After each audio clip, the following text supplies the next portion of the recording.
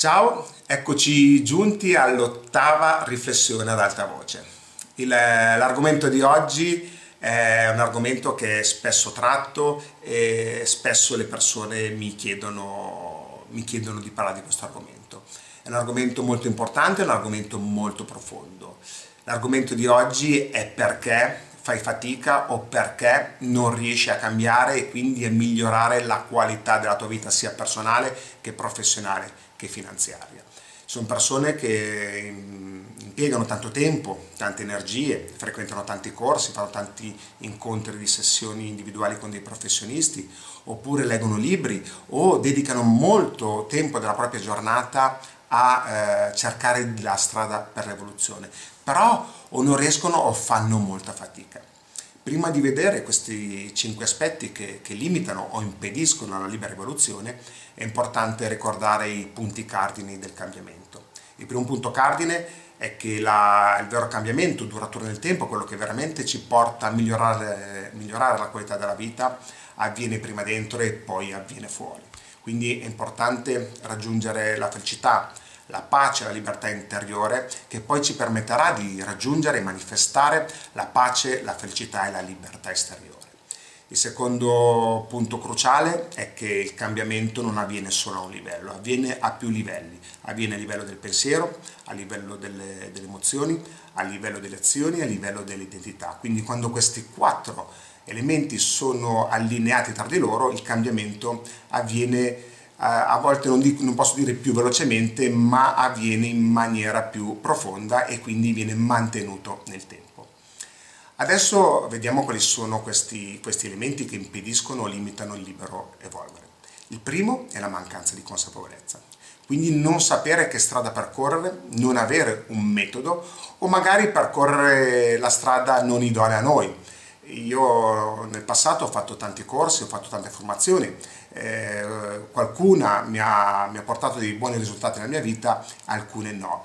Poi ho capito che non dipendeva dalla, dalla, qualità della formazione o dalla qualità del formatore, dipendeva da come io mettevo in pratica ciò che avevo imparato durante la formazione.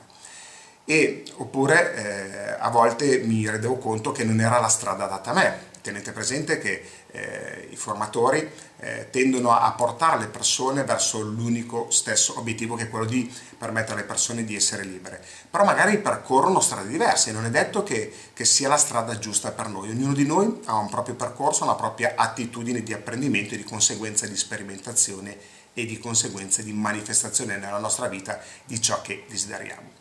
Il secondo aspetto è la deresponsabilizzazione, quindi dare la responsabilità del nostro cambiamento a persone esterne a noi o a situazioni esterne a noi o magari dare, in questo caso qui quando si parla di formazione, dare la responsabilità al formatore o alla formazione. Sono tante persone che mi chiedono che cosa posso fare io per loro e io rispondo sempre, io per te non posso fare niente, se vuoi al massimo possiamo fare qualcosa insieme, andiamo a creare una corresponsabilità.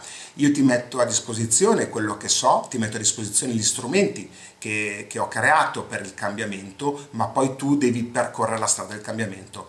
Jim Rohn, uno, un grande coach americano, diceva sempre che nessuno può fare le flessioni per te, quindi non sarà quello che ti, ti insegnerò io, ti insegneranno le altre persone, non saranno le consapevolezze aiuterò alle quali ti aiuterò ad accedere io o alle quali ti aiuteranno ad accedere gli altri formatori, ma sarà eh, il modo in cui tu le utilizzerai e le porterai in maniera attiva nella tua vita. Il terzo punto è la mancanza di entusiasmo, la mancanza di motivazione, la mancanza di credo e di fiducia. Lo stato emotivo è l'energia che ci permette di muoverci. L'entusiasmo, se io non ho veramente voglia di cambiare, la motivazione è nulla. Se io non penso di meritare il cambiamento, ovviamente la motivazione sarà nulla. Oppure tutto quello che farò non metterò la giusta energia, la giusta motivazione e di conseguenza non riuscirò ad ottenere ciò che desidero. Il quarto, il quarto punto è la mancanza di azioni costanti. È importante, come dicevo prima e ribadisco anche adesso, mettere in pratica ciò che hai imparato. Il nostro cervello, che è un organo meraviglioso, più di una volta abbiamo parlato del, del potere del nostro cervello, se ritiene una cosa non utile tendenzialmente non l'assimila Oppure se la ritiene utile, anche tu la stai ritenendo utile, se tu non la metti in pratica, il tuo cervello a un certo punto te la, te la, te l'accelerà, comunque la metterà da parte e quindi non sarà direttamente eh, fruibile da te, quindi non avverrà il grande cambiamento. Quindi saprai tante cose, ma se non le metti in pratica rimarranno tante belle conoscenze e nessuna competenza. Eh, per quanto riguarda l'azione costante, ad esempio noi abbiamo messo in campo con, eh, come, con eh, Performarsi, alla fine di ogni workshop e di ogni corso mettiamo in campo un percorso dei 21 giorni. Percorso di 21 giorni che è un affiancamento costante per 21 giorni attraverso mail, attraverso gruppi di Whatsapp, attraverso condivisione nei gruppi di Facebook che di volta in volta andiamo a creare. Perché 21 giorni? Magari eh, sente, avete sentito parlare molto del percorso di 21 giorni, tanti parlano del percorso di 21 giorni e alla fine non sappiamo perché viene fatto e quindi non magari non vedendone l'utilità non lo mettiamo in pratica. 21 giorni perché? Perché il grande cambiamento avviene quando siamo, come dicevo prima, anche la nostra identità cambia, anche la nostra identità cellulare, quindi quando ogni nostra singola cellula ha assorbito il cambiamento e l'ha messo in pratica. Il nostro corpo è fatto di miliardi di cellule e le cellule si rigenerano e si rinnovano. Alcune cellule del nostro corpo eh, ci mettono pochi giorni per rinnovarsi, altre cellule ci mettono mesi e anni, ma la maggior parte delle cellule ci mettono tra i 21 e i 28 giorni. Quindi se per 21 giorni o 28 giorni fai cose nuove, le, anche le tue cellule saranno nuove, saranno pronte con nuove informazioni da trasportare nella tua vita. Quindi in 21 giorni tu puoi creare nuovi atteggiamenti e nuove abitudini. Attenzione che eh, la ripetizione di, di, di azioni che poi diventano programmi mentali, quindi abitudini, valgono in entrambi, in tutti i sensi, valgono per le cose utili e per le cose non utili. Quindi quando tu ripeti un qualcosa in maniera costante poi diventa un'abitudine e questo andrà a influenzare, a condizionare la qualità della tua vita. E l'ultimo, ma non ultimo eh, punto è l'impazienza.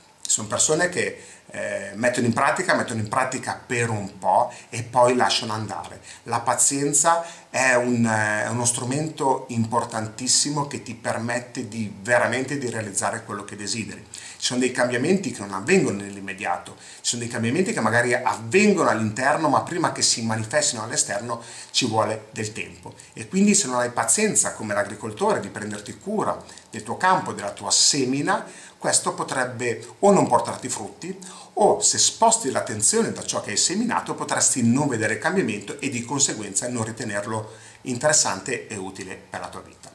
Spero di aver fatto un po' di chiarezza sui motivi perché, per i quali non, non riusciamo a cambiare o facciamo fatica a migliorare la qualità della vita.